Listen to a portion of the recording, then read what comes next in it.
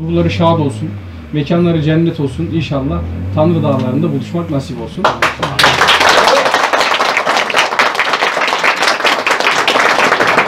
Faruk Sümer e, oturumunu açmış bulunuyoruz.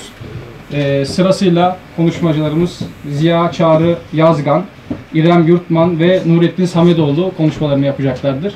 Konuşma süreleri 15 dakikadır. Son 2 dakika kala ben e, sizlere uyarıda bulunacağım. Konuşmasını yapmak üzere sözü İrem Yurtman'a bırakıyorum. Teşekkür ederim başkanım. Sayın Başkanımız, Sayın Yönetim Kurulu, tamam e, geçeceğim hocam. Sayın Başkanımız, Sayın Yönetim Kurulu, şehrimizden ve il, il dışından tebliğlerini sunmak üzere ocağımıza iştirak eden kıymetli hazirim. Öncelikle sözlerime kendimi tanıtarak başlamak istiyorum. İsmim İrem Yurtman, Eskişehir Osman Gazi Üniversitesi Türk Dili ve Edebiyatı 4. sınıf öğrencisiyim. Aynı zamanda bu sene Ocak'tan da mezun oluyorum, lisanstan da mezun oluyorum. Onun biraz burukluğu içerisindeyim. Ee, Oca, e, Ocak'taki tez konum, biz bu e, bildirileri tez olarak hazırladık. Bildiri metni olarak değil, tez olarak hazırladık. Ondan dolayı biraz geniş kapsamlı. E, bildirimin tamamına burada değinemeyeceğim ama isteyen arkadaşlar olursa mail yoluyla iletebilirim. Öncelikle bunu bildireyim. Müsaadenizle e, Eskişehir Şücaettin Veli Ocağı Alevi Kültür ve İbadet Ritüelleri adlı bildirimi tebliğ etmeye başlayacağım. Öncelikle e, izleyeceğim yönetim e, yöntemi size izah edeyim. E, çok geniş kapsamlı bir konu olduğu e, için sadece e, diğer ocaklarla mukayeseli olarak sadece e, Sücaettin Veli Ocağı'na has olan özelliklerinden bahsedeceğim. Bunları başlık başlık inceleyeceğim. İlk olarak Sücaettin Veli'nin kim olduğundan bahsetmek gerekirse çünkü ocağa ismini veren zattır kendisi. 13. ve 14. yüzyılda yaşamış olduğu tahmin edilmekte. E, Merkadi'nin yani mezarının e, birçok bölgede e, bulunduğu düşünülüyor. Bu aynı Yunus Emre gibi düşünülebilir. E, şahsına atfedilen kıymetten dolayı e, birçok bölgede Merkadi'nin olduğu düşünülmekte. E, bu merkatlerden biri Eskişehir'de şu an Aslanbeyli köyü olarak bilinen ama Cumhuriyet öncesinde Şücaettin Veli'nin isminin verildiği köyde e, bulunmakta. E, bu zat e, 13. ve 14. yüzyılda yaşamış olup aynı zamanda e, Osmanlı padişahlarından, e, Osmanlı e, kumandanlarından Demirtaş Paşa'yla da e, iletişim dahilinde olmuş bir zat. E, onun ufacık bir hikayesinden bahsedeyim. E, Demirtaş Paşa bir gün sefere gittiği esnada e, yolu e, dinlenme mekanı olarak e, Şücaettin Veli köyünü seçiyorlar ve askeri olarak orada konaklamayı talep ediyorlar.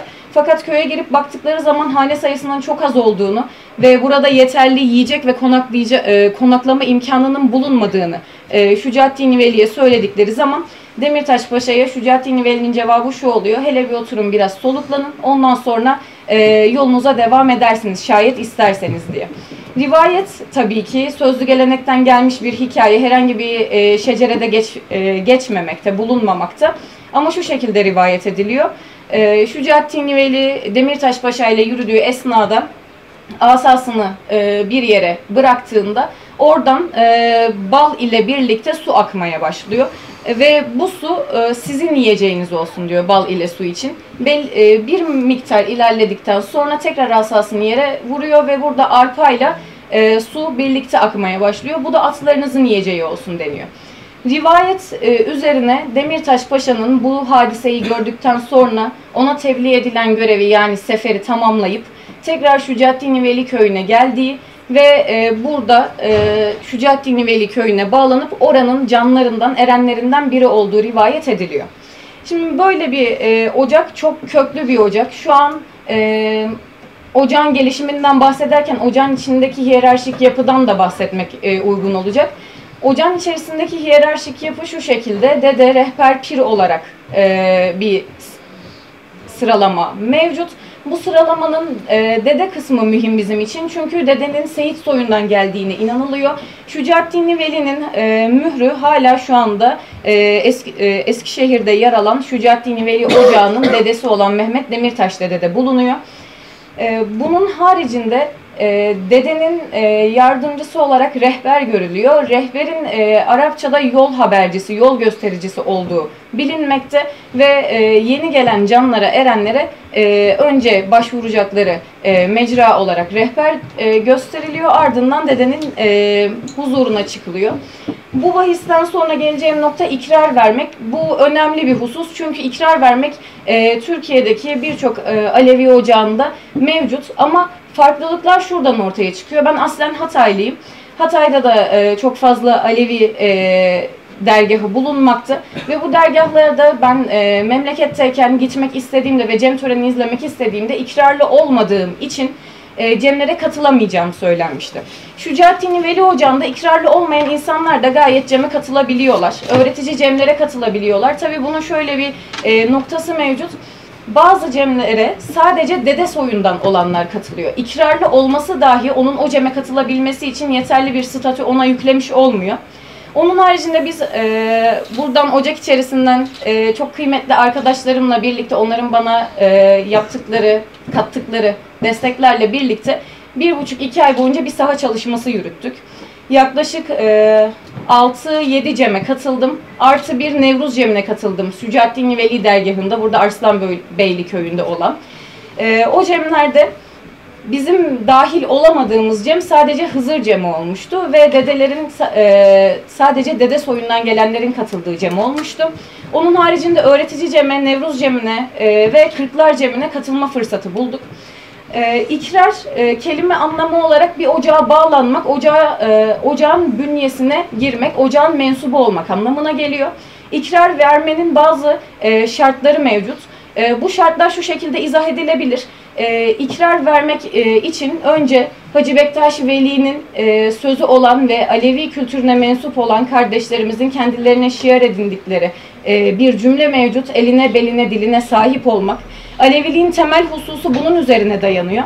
Ve bu e, şartları yerine getiren insanlar e, belli bir kendi iç muhakemelerinden geçtikten sonra ve dar meydanı denilen cemevlerinde yer alan 12 hizmet dairesinin etrafında sıralandığı ve başlarında dedelerin ve pirlerin oturduğu, rehberlerin oturduğu dar meydanına geldikleri e, esnada e, orada ikrar vereceklerini söylüyorlar.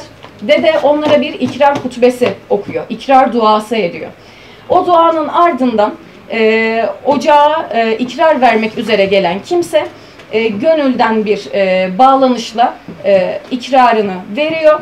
Nefes pirindir diyor. Pir e, ikrar veren kimseye dua ediyor ve bunun üstüne ikrar verilmiş oluyor. Ama ritüel bu şekilde de bitmiyor. Affedersiniz. Ritüelin devamında e, çok ilginç bir nokta var. E, bunun e, Türkmen geleneklerinden geldiğini e, düşünüyorum. E, bahsettiğim zaman sizin de aynı kanatta olduğunuza inan e, olacağınıza inanıyorum. E, ikrar vermenin e, bu aşamasından sonra en önemli aşaması kurban kesmek. Kurban kesilmesi e, şart. E, ikrar verecek kimse kurban kesiyor ve kesilen bu kurban e, bütün ihtiyaç sahiplerine dağıtılıyor. İhtiyaç sahiplerinden kasıt şu şekilde oluyor. Cem esnasında 12 hizmet dairesinde sürem kalırsa izah edeceğim ama e, emin olmadığım için burada bahsi gelmişken bahset, e, konusu gelmişken bahsetmek istiyorum. Lokmacı denilen bir hizmetkar var 12 hizmet dairesinde. Bu lokmacı denilen e, kimseler e, 4 kişi olarak görev alıyorlar ve bunların e, hepsinin Kur'an-ı Kerim'den e, okudukları ayetler mevcut, Türkçe ayetler. Bu duaları okuduktan sonra kesilen bu kurbandan yapılan yemeği ocağın içinde bulunan bütün canlara dağıtıyorlar. İlginç kısım ise şurada geliyor. Kesilen bu kurbanın yününden yani kurbanın e, kesilmesinin ardından çıkan postun yününden bir e, kuşak diyeyim günümüz Türkçesiyle kuşak dokunuyor. Tam e, 12 iplik olarak dokunuyor bu kuşaklar. Ee, ve e, ikrar veren kimse bundan sonra cem törenlerine, semahlara o kuşağı beline bağlayarak geliyor. Bu kuşağın Alevi kültüründeki ismi ise kemerbest olarak geçiyor. Kemerbestin geldiği e, şöyle izah edeyim. Kemerbestin kelime anlamının, e, kelime e, muhtevasının ortaya çıkma süreci şu şekilde gerçekleşiyor. Kemerbest 17 kemerbest olarak geçiyor. Hatta cem ibadeti başlamadan önce 40'lar 7'ler, 3'ler 5'ler, 17 kemerbestler, 12 imamlar aşkına diye e, söylenen aliterasyonlu ve asonansı çok yüksek bir dua mevcut. 17 kemerbest e, denilen zatlar Hazreti Ali'nin öncü belirlediği 17 kişi olduğu düşünülüyor. Hatta e, düşünülmekten de ziyade böyle yanlış e, aktarmayayım.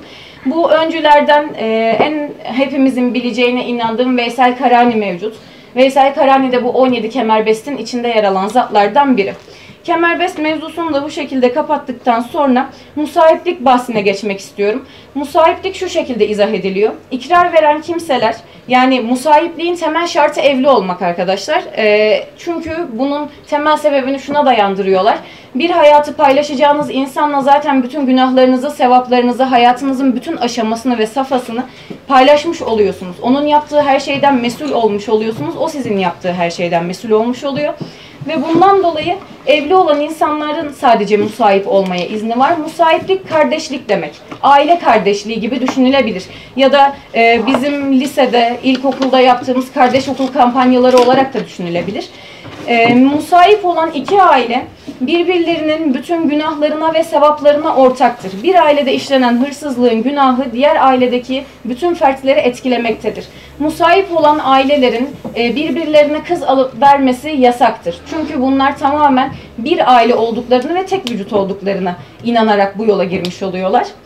Musahipliğin ardından gelmek istediğim nokta iki yaşlılık hususu. Bu da ikrarla bağlantılı olduğu için şu an bahsetmek istiyorum. Ee, Alevi kültüründe iki yaş mevcut. Alevi olan insanların iki yaşı var. Sorduğunuz zaman kaç yaşındasınız diye hangi yaşım diye soruyorlar. İlk e, önce idrak edememiştim. Daha sonra orada bize e, çok yardımcı olan abilerimiz, teyzelerimiz hepsinden hani Allah razı olsun. Onlar bunu çok güzel bir şekilde izah etmişlerdi. E, ana yaşı denilen yaş biyolojik yaşımız. Annemizden doğduğumuzdan bugüne kadar gelen yaş. Fakat bir de baba yaşı mevcut.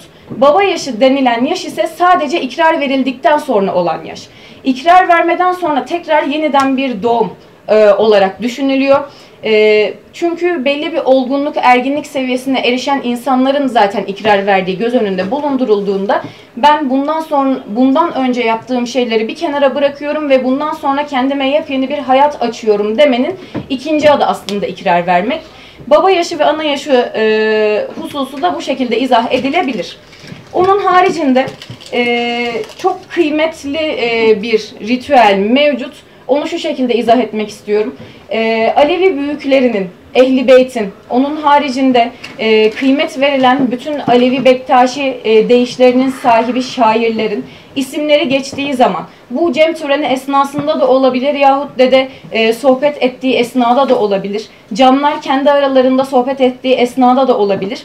E, misal vermek gerekirse Hacı Bektaşi Veli, e, Hazreti Hasan, Hazreti Hüseyin, e, Ehli Beyt'in tamamı, Hazreti Peygamber, Genç Aptal, Şah Hatayi bunların isimleri geçtiği zaman Alevi e, kültüründe yer alan bir e, ritüel mevcut. Şehadet parmaklarını öperek kalplerine koyuyorlar. Bunun anlamı ise şu şekilde izah ediliyor. E, ismi geçen zatların her zaman onlarla birlikte olduğuna inanıyorlar ve e, bu e, ritüeli gerçekleştirdikleri zaman onların ruhani varlıklarını yanlarında hissettikleri için onların ruhaniyetlerine dilimle ve kalbimle senin zatına bağlıyım demek olduğu anlamına geliyor bu ritüelin e, anlamı. E, mühürleme bahsi var. Bu tamamen bir rivayet üzerine gerçekleşen bir şey. Ne kadarı doğrudur ne kadarı e, yanlıştır bilemiyorum. Çünkü sözlü geleneğe sahip bir kültür Alevi Bektaşi e, kültürü. Ondan dolayı pek fazla e, yazma eser ve şecere bulunmamakta. E, mühürleme denilen bir hadise mevcut. Cemevine girildiği zaman e, canlar, erenler, bacılar bu şekilde tasnifleniyorlar. Bu şekilde birbirlerine hitap ediyorlar. Ondan dolayı böyle bahsetmenin doğru olduğunu düşünüyorum.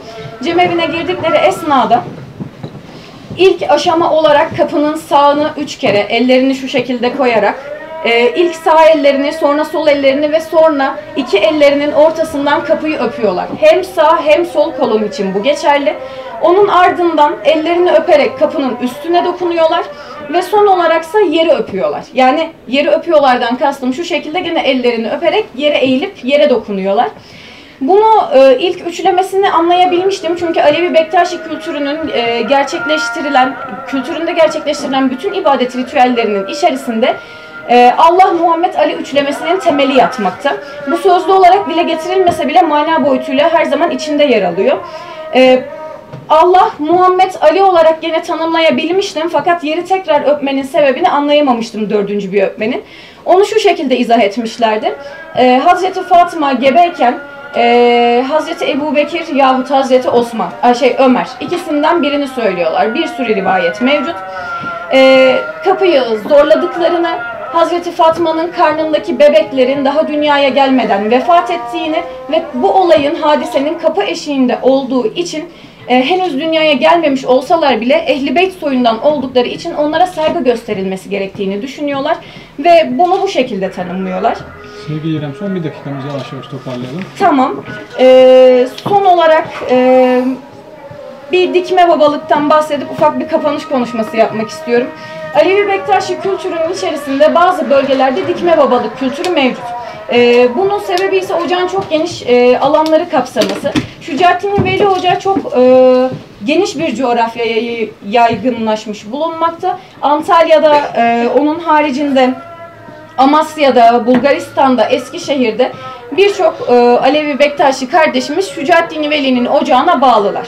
Bulgaristan e, biraz dikkat çekilesi bir husus çünkü Bulgaristan'da yaklaşık 800 hanelik bir Alevi Bektaşi kardeşimiz e, Şücaettin Veli ocağına bağlı olarak hayatlarını idame ediyorlar.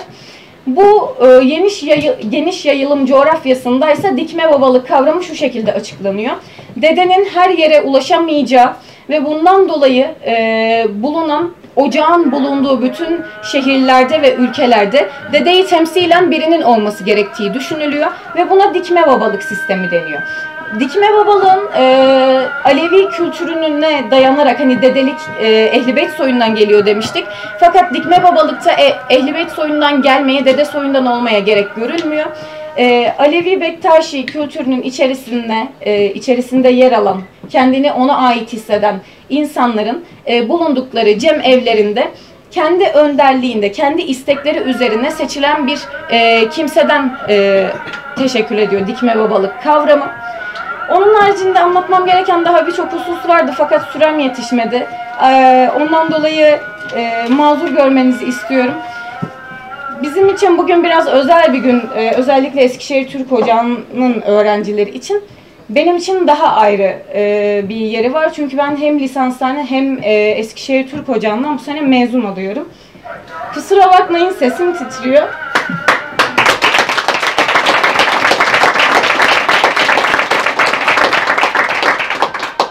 Sözlerimi şu şekilde tamamlamak istiyorum.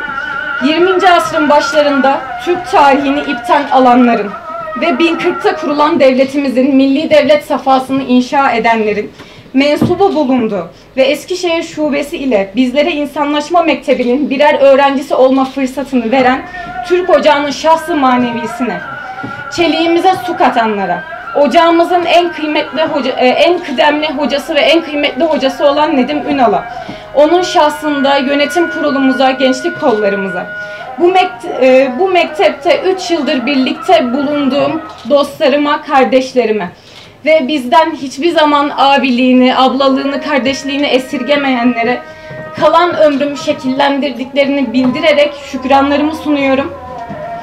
Ee, sevgim ile birlikte üzerimde emeği geçen bütün büyüklerimin ve kardeşlerimin bana kattıklarını 3000 yıl sonra doğacak olan torunuma bırakmayı ümit ediyor. Hepinizi saygıyla selamlıyorum.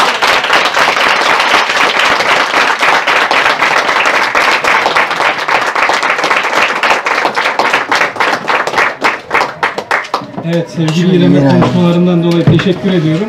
Ee, böyle konuşacağını söyleseydim bir yarım saat daha verirdik. Programı delerdik. Siz bir tarafa. Ee, yani kendi titredi, bizi de sesimizi titretti. Ee, söyledikleri çok güzeldi. Ağzına sağlık. Ee, inşallah yolun uzun olsun. Yolunda hiç yorulma inşallah. Ee, şimdi Benim sıramız... sunumum vardı ama. Tabii açalım Buradan. sunumunu. Hı hı konuşmalarını yapmak üzere Ziya Çağrı Yazgan'a Benim. sözü teslim ediyoruz. Teşekkür ederim başkanım. Evet.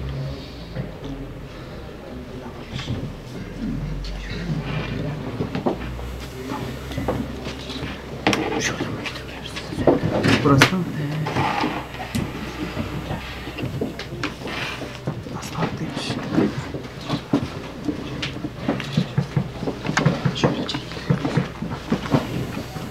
Sayın Başkanım, sözü devrettiğiniz için teşekkür ederim size.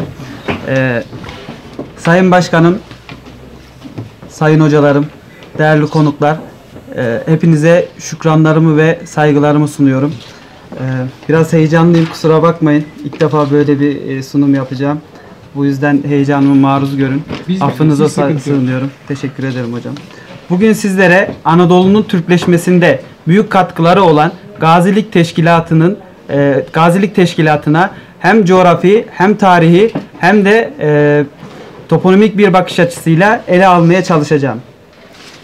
E, ilk önce şuna değinmek istiyorum. E, problem, konu, amaç, yöntem anlatacağım. Daha sonra kavramsal çerçeve yani konunun teorik temellerini oluşturan kavramsal çerçevelere değineceğim. Bunlar gazi nedir, gaza nedir, alp nedir, toponomi nedir? Bunun ardına Anadolu'nun Türkleşmesini ve gazilerin buradaki rolüne değinip bulgular sonuç aka- akabinde de sonuç ve değerlendirme yaparak bitirmeyi düşünüyorum. Şimdi Biraz önce de dediğim gibi Anadolu'nun Türkleşmesinde, Türk yurdu haline getirilmesinde büyük katkıları olan Gazilik Teşkilatı hakkında e, bir e, farklı disiplinlerden birçok araştırmacı tarafından e, araştırmalar yapılmıştır. Fakat bunlar gaziliğin ne olduğu ve kökeniyle alakalıdır. Yani özellikleriyle alak- alakalıdır. E, bahsi geçen çalışma e, ancak gazilik ile ilgili Türkiye genelini kapsayan e, gaziliğin yani dağılışını ve dolayısıyla etkinlik sahasını ortaya koyan çalışmaların e, eksik olduğunu e, gözlemledik. Bu çalışma yapılırken öncelikle pardon bir saniye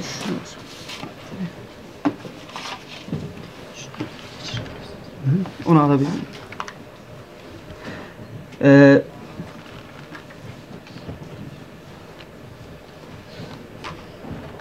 Çalışmamızda bu, sebeple çalışmamızda o 16. yüzyıl tahrir defterlerinden elde ettiğimiz Gazi adlı yerleşme isimlerinin bugünkü Türkiye sınırları içerisindeki mekansal dağılışı konu edinilmiştir.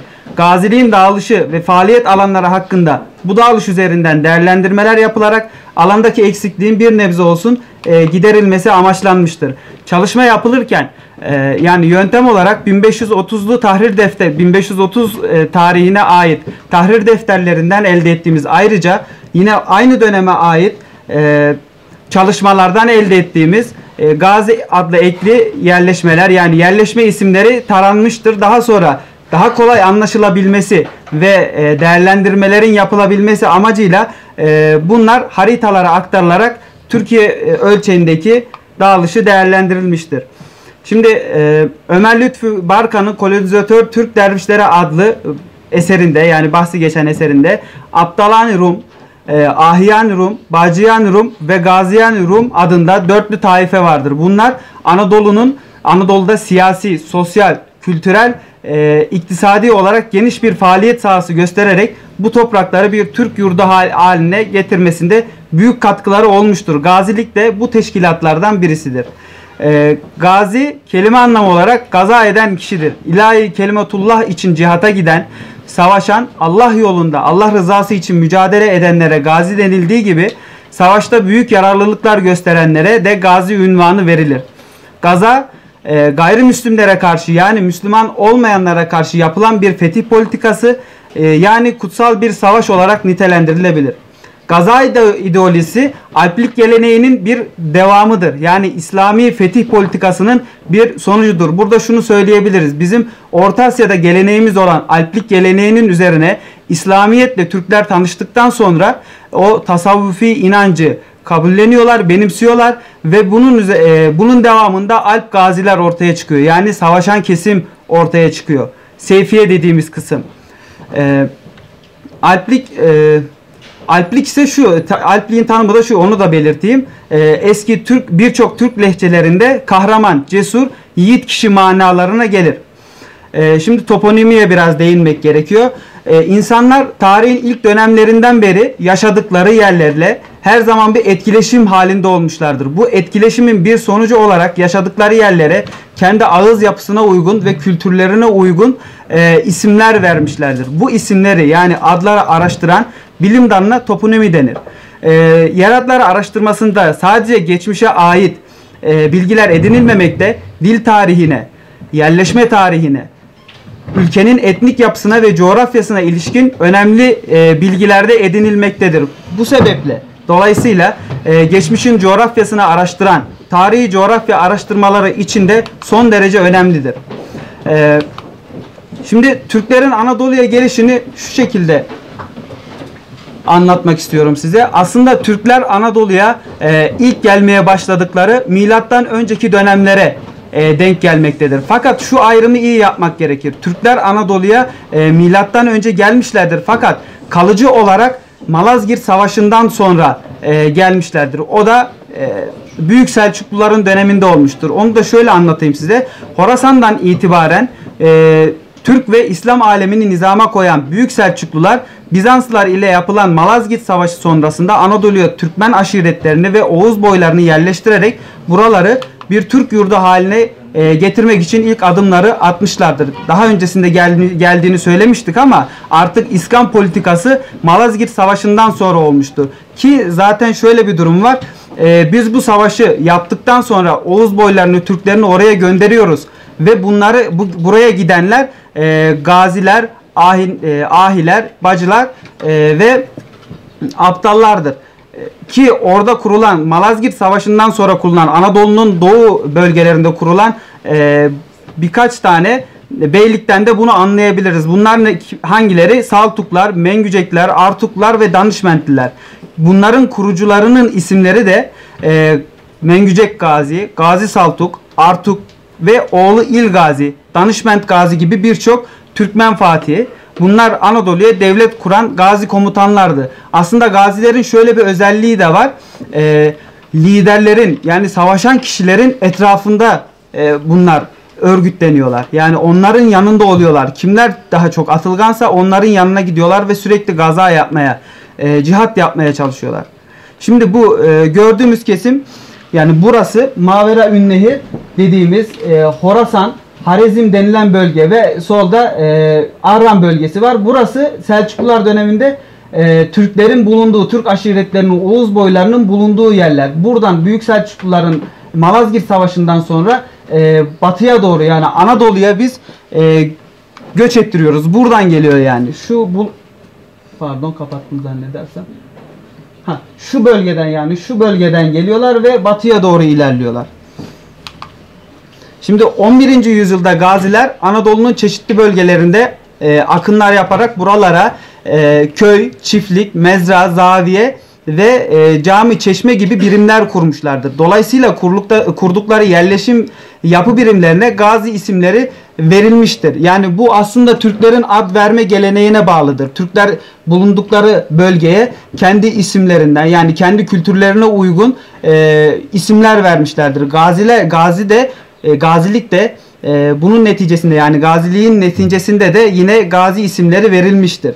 E, Türklerin ad verme geleneğine bağlı olarak verilen bu e, yapı isimlerinin e, geçen süreç içerisinde değişmediği, Osmanlı döneminde de genelinin muhafaza edildiği anlaşılmaktadır. Şimdi burada e, bu haritaya aktardım demiştim. Burada haritaya aktardığım yerden size anlatmak istiyorum. Taramalar sonucunda elde ettiğimiz e, verilere bakarak aslında gazilik teşkilatı Anadolu'nun birçok bölgesine yayıldığı gözü, e, görülmektedir.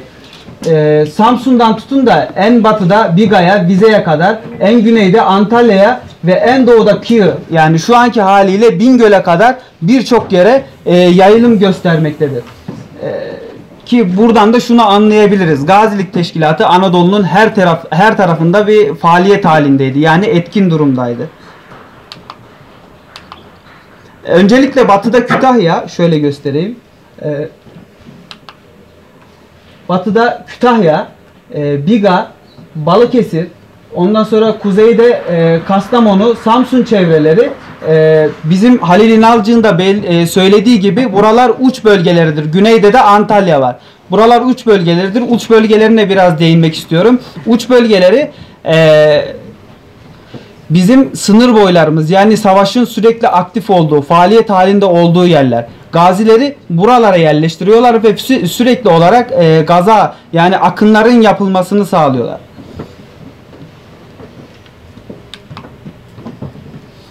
Ee, Gazi adlı ekli yerleşmelerin yoğunlaştığı sahaların özellikle Kütahya 10 tane yerleşme, 8 tane Hüdavendigar'da yani şu anki ismiyle Bursa, Karahisar'a sahip Afyon'da yani 6 tane Sivas Tokat'ta 8 tane dikkat çeken bir özelliği de Anadolu'da ana kara ulaşım ağı güzergahında yer alan ticaret merkezleri olmalarıdır.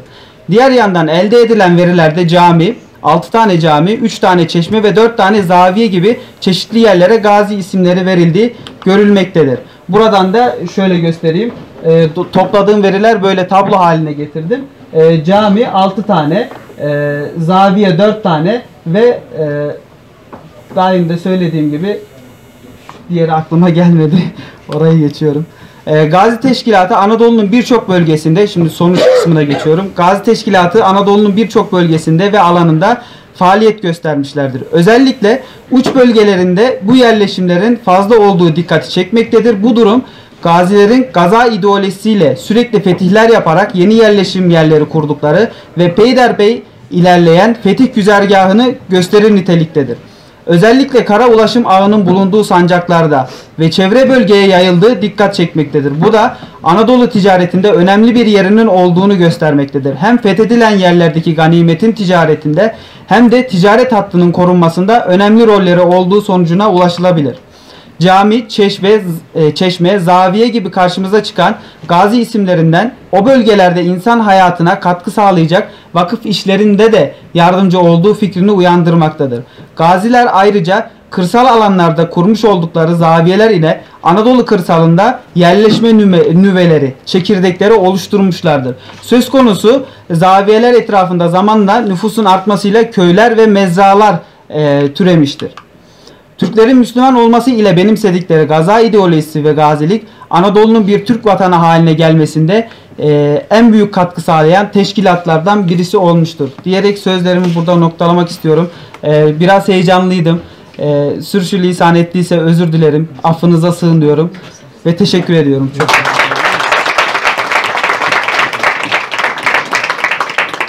Ziya Çağrı'ya e, güzel sunumundan dolayı teşekkür ediyoruz. Ağzına sağlık, yüreğine sağlık. E, şimdi konuşmayı yapması için sözü e, misafirimiz Nurettin Samedoğlu'na bırakıyorum. Teşekkür Buyurun ederim Nurettin, başkanım. süren 15 dakika.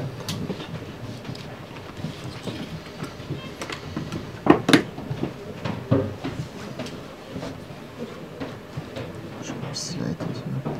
Kapatmaya gerek yok.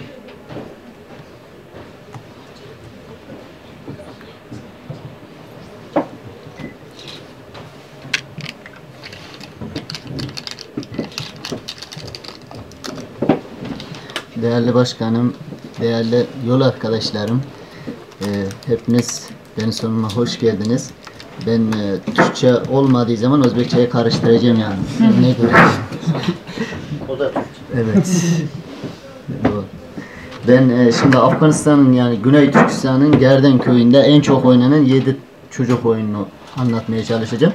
Ama bunu 7'sini anlatacağımı sanmıyorum çünkü biraz zaman 15 dakika. Bunun için e, en çok oynananlarını en e, kamil şekilde yani tam şekilde anlatmaya çalışacağım.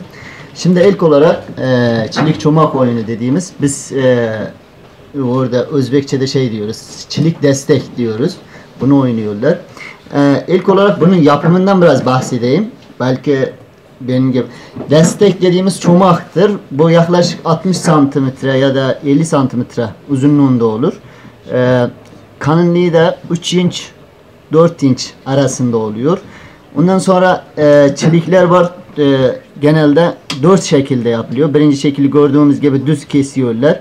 İkinci şekilde de gördüğümüz gibi uçundan ters şekilde biraz N şeklinde alıyorlar. Bunu da biraz sonra bahsedeceğimiz lonçurma dediği bir e, eylem var. Onun için yararlı oluyor. Üçüncü şekli de yuvarlak yapıyorlar. Dük şeklinde yapıyorlar. Dördüncü şekli de her iki tarafında da N gibi biraz e, kesip yapıyorlar. Bu da her biri de lonçurmak için yararlı olması için bunu yapıyorlar. Şimdi çelik e, çomak oyununa başlamadan önce e, tabi şey takım halinde oynanıyor. Şöyle şuraya da mesela bir tane yalak dedikleri taş ya bir belli bir şey topluyorlar yani burada. Ondan sonra bu iki takım halinde oynuyor. Buradaki takım bu takımda nasıl oluşuyor? Takımlar adaşıp kelime diye Özbekçe'de yani adaşıp gel, kaybedip gel diye böyle bir şey var. Ondan takımlar ayrılıyor. E, iki kişinin kendilerinin içindeki en deneyimli, en yani büyük yaştakini seçiyorlar. Siz diyor murtsunuz yani. Murt demek mir demek yani. Emirimizsiniz. Sonra da ikişer ikişer birbirinin boynuna asılıp gidiyorlar uzakta. Uzağa gittikten sonra bunlar gizlice isim veriyor kendilerine. Mesela sen yer diyor, ben diyor gök diyor. Geliyor sonra murt, murtlara diyor selamun aleyküm, aleyküm selam diyor. Kime yer gerek, kime gök gerek diyor. Yani murtlar da bilmiyor. Yoksa iyi oyuncunu seçmeye çalışacak. Sonra diyecek ki birisi diyecek bana yer gerek. Sonra yer kimin ismi ise onu safına geçiyor. O biri- Öylece takımlar ayrılmış oluyor. Ee, sonra takımlar ayrıldıktan sonra tabi oyuna başlamak için de bir e, seçim yapılması lazım. Oyuna başlamak için genel olarak üç şekilde başlıyorlar. Birincisi e, biz çakıtmak diyoruz. Yani se, e, sektiriyorlar böyle. Çileği alıyorlar, e, çomağın üzerine koyup böyle se, e, sektiriyorlar. Hani hangi takımın sayısı çoksa o oyuna başlayacak. İkincisi mışmaşaf batırmak diyoruz biz. Ee, yani ya yumruk e, ya da e, tokat dediğimiz şey. Bir tane çocuğu gönderiyorlar ta uzağa. O bu alandaki oyunculardan habersiz e, bir elini yumruk yapıp bir, bir eline tokat yapıp şöyle duruyor. Buradaki iki tane murt arasında yani miyeller konuşuyor. Diyor ki hangisini alacağım? Biri diyor ki ben diyor yumruğu alacağım diyor. Sonra buradan çağırıyorlar vur diyor. Birisini aşağı indiriyor. O başlıyor sonra. Kim söylediyse. Ee, üçüncüsü de zar atımıyla başlıyorlar. Başladıktan sonra e, şöyle birer birer kişi şuradan atıyor. Bu tarafa bunlar da takımı en küçüğünden başlıyor. Atmaya başlıyor. Buradan bir tane attı. Takımdaki murtlardan başkasının iki atma hakkı var. Hani iki lonçurma hakkı var. Diğerlerinin bir hakkı var. Biraz da karışık olayı. Sonra şeyden buradan atıyor. Bunlar eğer bu çiliği bu tarafa vurup geri çevirebilse atma atmakta olan kişinin hakkı yanıyor. Bir daha atamaz. Eğer yalaktan aşırabilse zuleme cezası dediğimiz bu takım komple yeniliyor. Zuleme cezası alıyor. Bunların elinde de bir bir sopa var. Ona gole diyorlar. Ondan sonra e, eğer vuramadılar yere düştüyse çilik sonra bunlardan biri alıp atıyor. Şu yalağın yanına geldiğinde destek dediğimiz çomakla bir çomak mesafeden uzaksa lonçurma hakkı kazanıyor. Lonçurma demek de belli bir sayısı var yani oyunun. Diyor ki mesela 100 sayıya bitecek. 100 sayıya bitecek. Bunu lonçurmada çiliğin bir köşesine vuruyor. Çilik yerden e, biraz e, şey zıpladığında çiliği vurup uzağa götürmeye çalışıyorlar yani. Onu eliyle vuramıyor. O zaman onu sonra da çomakla sayıyorlar. E, o 100 yüzü hangi takım önce bitiriyorsa örnek veriyorum 100 de olabilir 500 de olabilir yani. Hangisi bittirirse karşı takıma zuleme cezası veriyor. Birazdan onu da anlatacağım. Eğer bu attığında bu yalağın yanına geldi mesela şurada biraz taş var. Şu çomak ile çiliğin arası bir çomak değil. O zaman o adamın atma hakkı yanıyor. Bir daha atamıyor. Başka bir arkadaş çıkıyor. Böylece son arkadaşa kadar çıkıp birer birer atıyor. Son arkadaşa geldikten sonra bunlar yenip atmaya başlıyor. Bunlar bu tarafa çıkıyor yani. Takımın bu, bu kolu çıkıyor.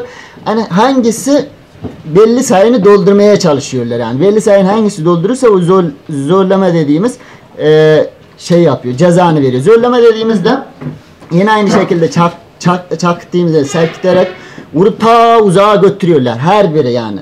Takımdakinin her biri kaç defa serkitiyorsa onu vuruyor vuruyor arka arkaya gidiyor. Nereye kadar giderse gitsin sonra karşıdaki yenilen takımın oyuncular e, nefes almadan yani. Ne kadar koşabiliyorsa o kadar zor diye koşması lazım. Öyle olarak şey yalağa kadar geldiğinde bitmiş. Yoksa yine kaldığı yerden geri çeviri vuruyor. Böyle ta uzağa kadar götürüyor. Böyle akşama kadar oynanan bir oyundur. Bundan sonrası cancan oyunu dediğimiz bu iki kişi arasında oynanıyor. Biraz önceki alana göre 20 kişi de olabilir, 40 kişi de olabilir yani şeyinde sayı alan genişse o kadar oynanır. Cancan dediğimizde e, böyle çakıtma yapıyor. Hangisi e, çok çakıttıysa o az çakıtan mesela burada bir tane çukur kazıyorlar. Buradan çiliği atıyor. Buraya eğer düşürebiliyorsa bu bu defa gidiyor bu atıyor. Eğer düşüremezse bu can can kendim bilmem kaç can diye vuruyor. Her 5 e, çomak bir tane can sayılıyor. Sonra 5 tane can oldu varsayalım bu. Bu 5 defa buradan atmak zorunda kalıyor. Yani bu canının üzerinde ekleme olarak devam edebiliyor. Mesela bu bir defa attı. Bu 5 can oldu.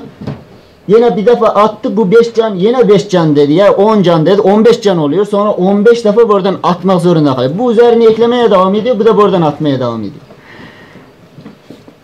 Bu da can canı. Bunu zorlaması çiliğin uç kısmını yere kalkıyorlar sonra öyle vur- vurarak götürüyor. Yoksa bir kişi olduğu için zorlayıp gelemez yani şeye. Yalağa kadar gelemez. Tabi ayrıntıları biraz kuralları şeyler var. Bu sonra e, makaleden inşallah okursunuz. Yani e, hangi şekilde yani. Bir de aşık kemiği oyunu dediğimiz aşık kemiği oyunu var. E, bundan da biraz bahsedeyim. Bu aşık kemiğini yani oynama şekilleri şöyle durduğunda alçı diyorlar. Böyle taha diyorlar. Böyle pukke diyorlar. Bu şekilde durarsa çikke diyorlar. Bu iki şeklini de monka ya honka diyorlar. Bu aşık kemiği oyunlarıdır. Eee bunu ilk olarak oynadığımız oyunlar Chicken Top dediğimiz oyunlar. Chicken Top dediğimiz 10 kişi ya 5 kişi olabilir yani oyuna 2 kişiden başlıyor. Ee, Fazlası ne kadar alana sığabiliyorsa. Yuvarlak oturuyorlar. ikişer ikişer aşık katıyorlar. Bir kişi atlıyor böyle. Ee, atıyorum 5 tane şöyle çikke olmuş aşıkların durduğu. Başkası başka şekilde durmuş. Yanındaki arkadaşına diyor ki 5 tane çikkeyi tap. Bol. Yani tap demek bol demek Özbekçe'de. E, o da atıyor. Bolebiliyorsa bütün aşıklar o kazanmış oluyor. Bolemezse yanındaki arkadaşına veriyor. O atıyor. O, o da kazanamadı. Hepsi kazanamadı. Sonra el atan kişiye kalıyor. El atan kişi kazanıyor. Sonra yanındaki arkadaşına ikişer aşık veriyorlar böyle. En çok hangi oyuncu aşığı çok kazanıyorsa o o oyunu kazanmış sayılıyor. Bundan sonra bir tane daha oyunu var. Aşıkla oynuyor. Çersek çürsek diyorlar. Bu çersek çürsek dedikleri de yedirmesi var. Çersek çürsek var. Biraz önce dediğim gibi şuradan göstereyim. Çersek çürsekte arkadaşlar toplanıyor. Birer aşık katıyorlar. Ee, bir kişi böyle e, yaklaşık e, iki karış yukarıdan aşığı bırakıyor. Hangi oyuncunun aşığı başka oyunculardan farklı duruyorsa o vurma hakkı kazanıyor. Aşığı vurma hakkı kazanıyor. O aşığı vuruyor. Eğer kendi aşığını şeklini alıyorsa mesela başka hepsi alçı durmuş bir tane aşık çikke durmuş. Çik, çikke olan aşık diğerlerini vurma hakkı var. Hangisini isterse vurabilir. Bununla onu vurduğunda ikisi de ya pukka ya çikke ya şey aynı e, duruşu alıyorsa o aşığı kazanmış oluyor. Diğerini vurma hakkı kazanıyor. Yani diğer aşıklar vurma hakkı. Eğer vurduğu aşık farklı şekillerdeyse bu defa bu vurma hakkı kazanıyor. Vurulan aşık vurma hakkı kazanıyor. Hangisini isterse vurabiliyor. Böylece uzun süreli devam ediyor. Yani hangisi çok aşığı kazanırsa o ye- yenmiş oyuncu olarak sayılıyor. Bir de yedirme dediğimiz e, onu da şuradan göstereyim. Yedirme aşığı şu alçı duran aşık şu çikkeleri yiyor. Yani otomatik olarak kazanıyor. Aşığı biraz önce gibi atladılar. Bir kişinin aşığı şöyle alçı durdu. Diğerleri pukkaya çikke durdu. Eğer tağa durarsa oyun bozuluyor. Tekrardan başlıyor. Eğer çikke ya pukke durarsa çikkeler otomatik olarak bu aşığın sahibi cebine alıyor, kazanıyor. Diğer pukkeleri vuruyor sonra bu aşığın sahibi. Yani onları da çersek çürsek gibi oyunun kuralı tamamen devam ediyor. Şimdi de padişah vezir dediğimiz bir oyun var. Aşıkla oynanıyor bir de. Padişah vezir dediğimizde bir tane mendilden e, şey örüyor böyle kirbe şeklinde yapıyorlar. Çocuklar toplanıyor böyle bir araya geliyorlar. Tabii çocuklar değil bunu gençler de oynuyor şeyinde. Sonra bir tane aşık var ortaya. O tabi boğa aşığı olması lazım. Bu oynanan aşıklar keçi ya koyun aşıklar oluyor. Boğa aşığını böyle ortaya atıyorlar. Bu da iki şekilde oynanıyor. Yani takım halinde oynanıyor ya karışık oynanıyor. Eğer karışık oynanıyorsa herkes bir defa atıyor. Kimin aşığı şöyle alçı durursa o padişah oluyor. Kimin aşığı şöyle tağa durursa o vezir oluyor. Vezirin elinde biraz önceki e, şeyle e, mendille örülen kirbaç şeklinde örülen duruyor. Kimin aşığı artık bundan sonra kimin aşığı çikke durursa o suçludur. Bu ceza yiyecek. Sonra paşaya soruyor, soruyor vezir. Padişah sahip kaç kırbaç vurayım diyor. O da tak yani çift olmasın. Çift olursa yarısını paşanın kendini vuracak yani. Onu tak söylemesi gerekiyor. Diyor ki 5 tane dura vur diyor. 5 tane dura vuruyor. Böyle sırasıyla devam ediyor. Yine sonra kimin aşığı böyle alçı durarsa padişah hemen değişiyor. O adam oluyor. Ee, ta duran iki o adam vezir oluyor. Yani sürekli kalmıyor. Kim herkes aşığını böyle padişah durdurmaya, vezir durdurmaya çalışıyor. O sırada çıkke du- şey kırbaç yiyor. Pukke durarsa suçsuz Geç- geçiyor. At- yani atma sırası geçiyor. Bu da bir aşı oyunudur. Bir daha aşık oyununda katahat dediğimiz oyun vardır. Ee, katahat dediğimiz oyun şöyle aşıklar ortaya diziyorlar. Şöyle bir daire çiziyorlar. Ortasından şöyle bir hat çiziyor. Şu ortasında aşıklar birer birer aşık oyuncular diziyor. Sonra herkesin aşı şu, şu şekilde yani taha dediğimiz şekilde alırsa birinci vurma sırası hakkı kazanıyor. Son oyuncuna kadar hepsi böyle topluca topluca atılıyor. Kiminki taha durursa çekip veriyor. Sen ikinci sen diyor. Yine atıyorlar kiminki taha durursa sen üçüncü sen diye veriyor. Sonra e, o aş, tabi bunlar vurma aşıklarına sakka diyorlar yani. Onun ortasını böyle kazıyorlar. Kalayı falan dolduruyorlar çünkü ağır olsun diye. Bir tarafın taşla yediriyorlar bir şekilde. Ağır olması lazım ki şu taraftan şu yaz, e, çizginin üzerinden vuruyor başa. Bundan buradan çıkarırsa kaç tane aşık çıkarırsa onun oluyor. Yenmiş oluyor. Çıkaramazsa tekrar diziyor sıra ikinci adama geliyor. İkinci adam vuruyor. Eğer bu aşıklardan bu oralarda kalırsa yazıların üzerine kalırsa ona şor diyorlar. Tekrar çizilme şey oluyor. Ona şor diyorlar. Yani tuzlu anlamını veriyor da. Şey orada tekrar çizme hakkı kalıyor. Bir de küçük hat dediğimiz oyun var. Bu da aynı daire şeklinde oluyor ama oturarak bu eliyle bu şekilde vuruluyor aşıklara yani böyle atmıyor. Bu şekilde vuruyor. Şu iki elle şöyle vuruyor. Aşığın köşesine şöyle vuruyor. Yazıdan çıkardığıma kazanmış oluyor.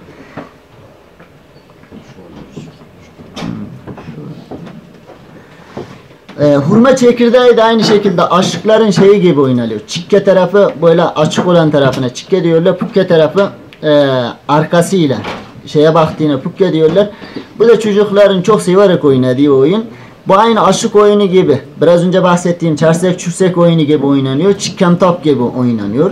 Bu ikisi de bu şekilde oynanıyor. Nurettin son bir dakikamız yavaş yavaş. Tamam hocam ben hemen sonuçlara geleyim hocam şeyinde.